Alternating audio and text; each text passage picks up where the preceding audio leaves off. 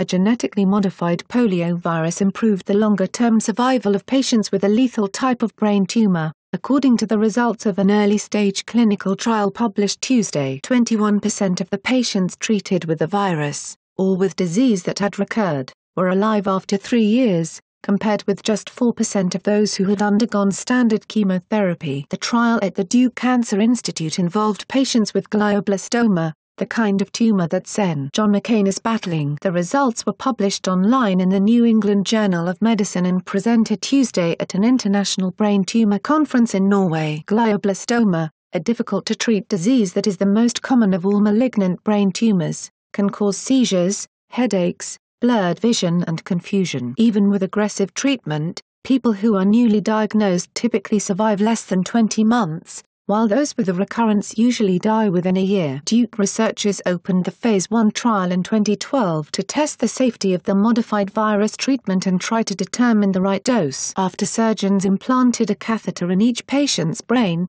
a small amount of a genetically modified form of the polio virus was infused directly into the tumor. The virus is designed to target the tumor cells and trigger a response by the immune system. The approach got widespread attention in 2015 when it was covered by the CBS program 60 Minutes. The first participant in the trial was a nursing student who has since gotten married and become a nurse, according to Duke officials. Tuesday's results were welcomed by experts who were not involved in the study. Yet those scientists strongly urged caution, saying it was too early, and the number of patients in the trial too few, to know just how effective the approach is for glioblastoma. The polio treatment is one of several oncolytic viruses being investigated as anti-cancer agents. While researchers have long viewed such viruses as potential tools for directly killing cancer, they now suspect that the viruses might be more effective at marshalling the body's immune system against malignancies, according to the National Cancer Institute. The Duke researchers said the median survival for the 61 patients in the trial was 12.5 months,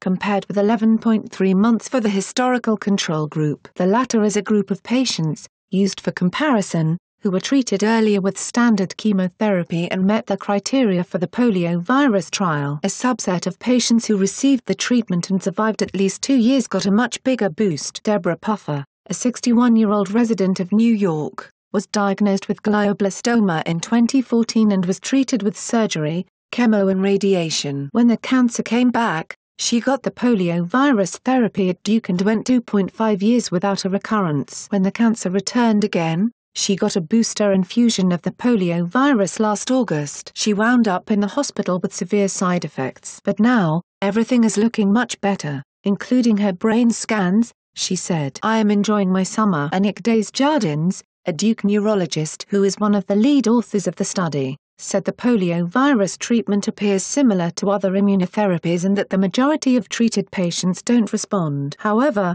those who mount an active immune response have the real possibility of becoming long-term survivors, she said. To try to increase the percentage of such responders, scientists opened a phase 2 trial at Duke and three other medical centers to test the polio virus treatment plus a chemotherapy drug, versus only the virus. Researchers also are planning trials for breast cancer and melanoma. Deepa Subramaniam, director of the Brain Tumor Center at Georgetown Lombardi Comprehensive Cancer Center, called the results very interesting, enough reason to keep going. But she noted that it was a very early phase trial, and that the treatment needed more scrutiny. John DeGroot, a neuro-oncologist at MD Anderson Cancer Center, called the study good science but said the therapy's effectiveness needed to be tested in a much larger number of patients and at many medical centers. Both he and Subramaniam questioned the use of a historical control group rather than an actual one. Subramaniam said it was a suboptimal way to compare outcomes between patients getting an experimental treatment and those receiving standard therapy. Desjardins said the study authors decided a traditional randomized trial would have been unethical because those who didn't get the treatment would have been subjected to sham procedures,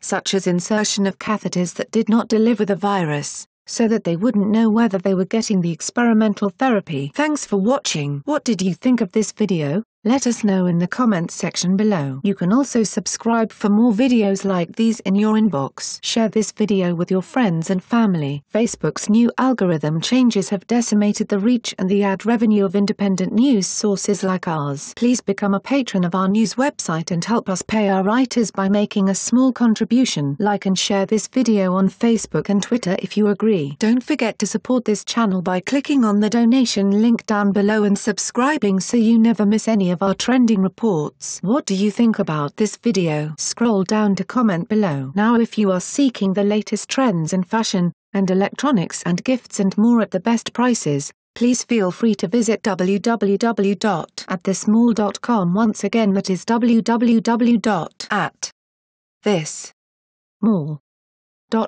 if you are seeking the best in facial and clear skin regimens and products for women and men including an opportunity to earn residual income, please visit our partner at www.jdro.my,